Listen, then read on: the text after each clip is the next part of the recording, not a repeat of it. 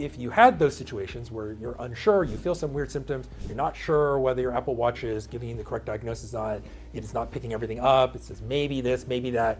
The way to actually diagnose this, of course, is either come into the office when you're having symptoms, do an EKG, or do heart rhythm monitors. And as I said, the heart rhythm monitor you can wear for a prolonged period of time. It stays on your body, it records your heart rhythm for one day, one week, two weeks, four weeks, and then the report gets sent to a cardiologist or cardiac electrophysiologist, whoever ordered it, and we can then interpret those squiggly little lines and actually say what's going on. And it also has lots of useful data like what range of speeds does your heart go at, and if you are in atrial fibrillation, what percent of time. Now, for people who have very infrequent symptoms, because sometimes people say, hey, I feel these weird palpitations, but they're not all the time. And somebody put a 30 day monitor on me and they missed it. And then right after I turned it in, I felt palpitations. So how am I going to make the diagnosis? And my Apple Watch is not very clear. It's not completely certain whether I'm an AFib or not. It says maybe AFib, but I'm not really sure. How do I make the diagnosis? Well, there is a device called a loop recorder. A loop recorder is specifically invented to make the diagnosis in people who are not having frequent symptoms.